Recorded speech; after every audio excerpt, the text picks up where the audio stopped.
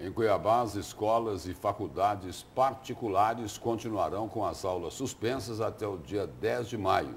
O retorno está previsto para o dia 11 do mês que vem.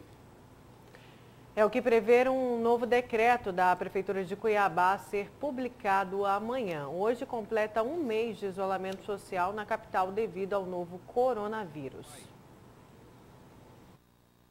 De, do planeta ainda estão tentando entender o que é a Covid-19. A gente não sabe muita coisa, né? É uma doença, é um vírus né, desconhecido e principalmente a forma como esse vírus interage com o hospedeiro, né, com as pessoas.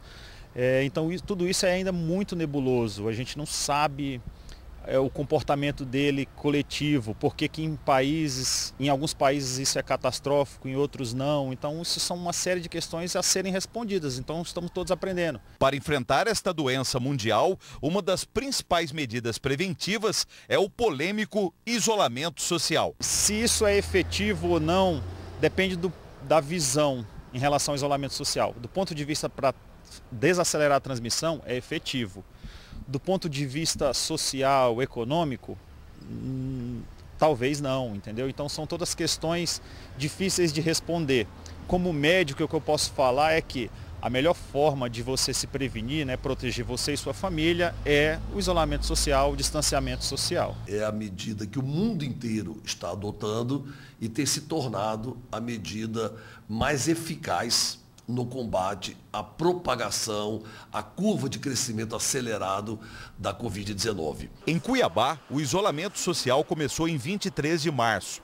Após um mês de apenas serviços essenciais estarem funcionando, o prefeito da capital avalia os resultados da medida preventiva. Até o momento, com as medidas tomadas pela prefeitura de Cuiabá e com o apoio da maioria da população, certo? nós temos conseguido um certo controle da proliferação da Covid na nossa cidade, estamos achatando certo? A, a, a curva de, de aceleração, de crescimento da propagação do vírus e, com isso, protegendo a saúde e a vida das pessoas. Emanuel Pinheiro nega que tenha sido pressionado por comerciantes para autorizar a reabertura das lojas de rua de Cuiabá a partir de segunda-feira, dia 27 não tem espaço, pelo menos comigo, para pressão, nem, nem pressão política, nem pressão empresarial, nem pressão pessoal, nem pressão familiar.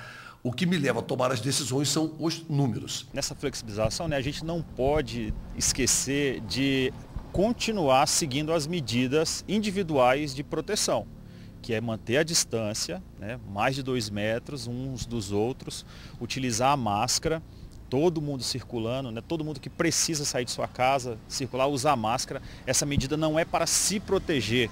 Você usa a máscara para proteger o outro e o outro usa para te proteger. Além dessas medidas preventivas contra o coronavírus, a Prefeitura de Cuiabá quer que os lojistas não demitam os empregados das lojas. Nas próximas horas, o prefeito Emanuel Pinheiro vai assinar um novo decreto. O documento vai prorrogar a suspensão das aulas na rede pública particular de ensino em todos os níveis até 10 de maio. estabelecemos que daqui para frente a Prefeitura vai disciplinar o funcionamento também das, dos estabelecimentos particulares de ensino. Então, estou editando, baixando, editando um decreto hoje, publica amanhã, sexta-feira, 24 de abril, que as escolas, eh, ah, os estabelecimentos particulares de ensino, certo, em todos os níveis, eh, inclusive superior, vão ter as suas atividades suspensas até 10 de maio, unificando com a rede pública municipal de ensino. Mas com a reabertura do comércio a partir de segunda-feira, dia 27, como fica o transporte de consumidores e trabalhadores, já que apenas um terço da frota de ônibus urbano da capital está autorizada a funcionar? Existe aí um, um, tempo para tudo. E o transporte coletivo está sendo analisado de forma que garanta esse transporte para um, um, novo quadro gradativo e seguro, que virá acontecer a partir de 27 de abril, que é a volta do comércio gradual, certo? Lenta, em horário especial, e vamos estar monitorando e medindo se precisar haver o aumento da frota, o aumento relativo, vai haver para que não haja tumulto, para que não haja aglomerações. A partir de segunda-feira, os templos também poderão reabrir, com seis celebrações religiosas diárias no máximo. Mas a Igreja Católica já comunicou, vai continuar fechada e transmitindo missas via internet. Aquelas igrejas que não podem fazer o mesmo por diferentes motivos, nós estabelecemos no decreto seis cultos por dia, dois cultos por período, dois de manhã, dois de tarde e dois à noite, certo? 30% nesses cultos, você, em cada igreja, cada templo só poderá ocupar 30% dos locais. Para o médico infectologista e professor universitário Tiago, o mais difícil da pandemia do novo coronavírus é a sobrevivência humana, tanto a econômica quanto a de saúde da própria vida. O vírus ele ataca exatamente o, o nosso estilo social, né? Como a humanidade se moldou. Então ele ataca esse estilo de vida ocidental, né? principalmente.